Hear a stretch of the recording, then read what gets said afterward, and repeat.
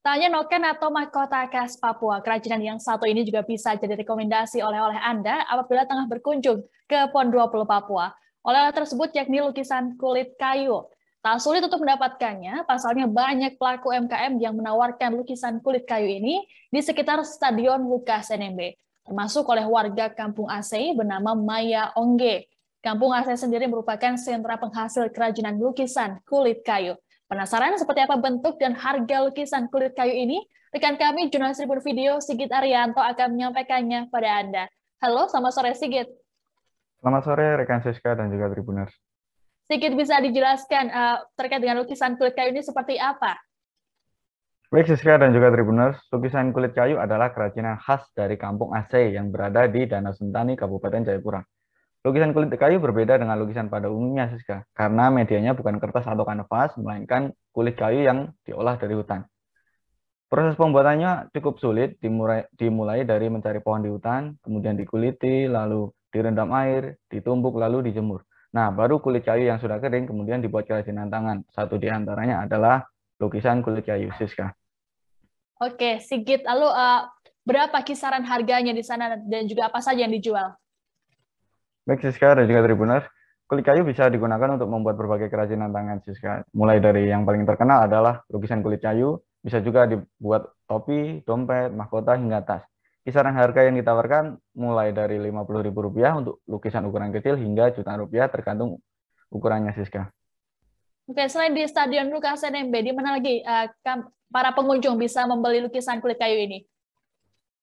Baik, Siska. Nah, bagi Tribuners yang ingin membeli lukisan kulit kayu, bisa datang ke venue utama Stadion Lukas NMB. Ada stand yang menjual kerajinan kulit kayu, di, ada di depan Stadion Aquatik, ada juga yang berada di depan Istora Lukas NMB, seperti di lapak milik Maya Ongge. Nah, tapi jika Tribuners ingin membelinya di luar acara PON, bisa datang langsung ke Kampung AC yang berada di Danau Sentani. Jadi tinggal menyeberang saja dari Pantai Kalkote, cari perahu yang menuju Kampung AC, biayanya hanya Rp5.000 saja Siska. Jadi di Kampung Aceh ini pengunjung bisa memilih dari banyak warga yang menekuni kerajinan ini.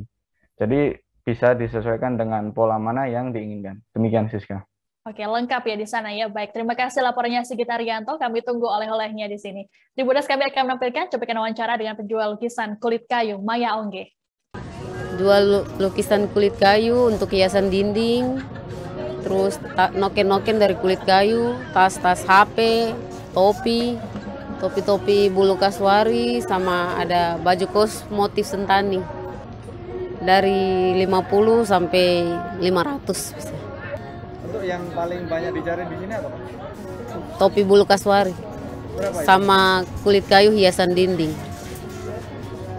Berjualan di sini dari hari apa sampai kapan?